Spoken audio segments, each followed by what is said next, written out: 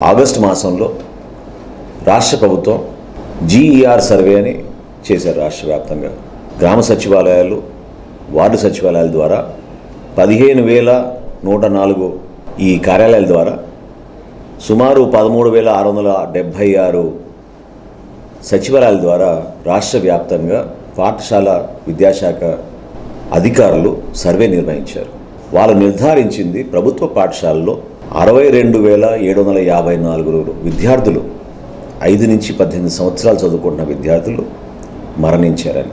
అత్యధికంగా తూర్పుగోదావరి జిల్లా. ఇవి ఉమ్మడి జిల్లాల విషయాలు నేను మీకు ప్రస్తావిస్తున్నాను. పదివేల ఐదు వందల నలభై ఐదు. అనంతపురం జిల్లా నాలుగు వేల నూట అరవై ఐదు. మన జిల్లా గుంటూరు ఆరు వేల నాలుగు వందల ఇరవై రెండు. ముఖ్యమంత్రి గారేమో నాడు నేడు అమ్మ ఒడి గోరుముద్ద అనేక కార్యక్రమాలు తీసుకొచ్చి అసలు సంచలనాత్మకంగా రాష్ట్రంలో పరిపాలన జరుగుతోంది.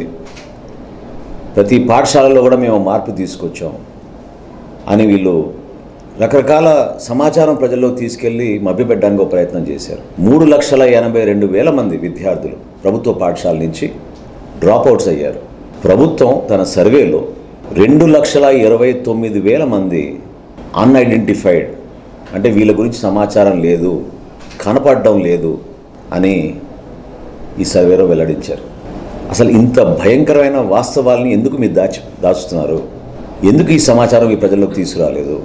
రాష్ట్ర వ్యాప్తంగా మీరు చేసిన సర్వేలో మీకున్న పదిహేను వేల నాలుగు వార్డు సచివాలయాలు గ్రామ సచివాలయాల్లో మీరు నిర్వహించిన ఈ సర్వేలో ఈ విషయాలు బయటకు వచ్చినప్పుడు ఎందుకు అధికార యంత్రాంగం ముఖ్యమంత్రి గారు దీనికి బాధ్యత తీసుకోలేదు? ఈ సర్వేలో ఇంకా రావాల్సిన అంశం పిల్లల కేటగిరీ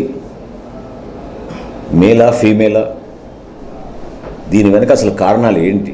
అభివృద్ధి చెందిన జిల్లాల్లో కొన్ని జిల్లాల్లో ఇబ్బందికి ఉన్న ప్రాంతాల్లో కూడా ఇంత అత్యధికంగా ఈ సంఖ్య రావడం అనేది పోల్చుకుంటేనే భయం వేస్తోంది. సర్వశిక్ష సర్వశిక్ష అభియాన్ కార్యక్రమం ద్వారా ఏ విధంగా రా పాఠశాలని మన ప్రభుత్వం నుంచి క్షేత్రస్థాయి వరకు తీసుకెళ్ళడానికి ఒక ప్రయత్నం చేశాం గతంలో. జనసేన పార్టీ నుంచి మేము డిమాండ్ చేసేది ఈ హెల్త్ సిస్టమ్ ఎక్కడ ఫెయిల్యూర్ జరిగింది ఈ పాఠశాలలో? ఎందుకు ఈ రోజు వరకు ముఖ్యమంత్రి కానీ సంబంధించిన మంత్రి మంత్రి కానీ ప్రభుత్వ ఉద్యోగంలో ఉన్న పెద్దలు కానీ ఎందుకు స్పందించలేదు? ఈ సర్వే రిపోర్ట్ని మీరు బయట పెట్టండి. ఎందుకు దాచిపెట్టారు? జనసేన పార్టీ డిమాండ్ చేస్తుంది. శ్వేతపత్రం మీద విడుదల చేయాలి. ఈ సర్వే రిపోర్ట్ బయటికి తీసుకురావాలి. ఖచ్చితంగా దీని బాధ్యత ముఖ్యమంత్రి గారే తీసుకోవాలి.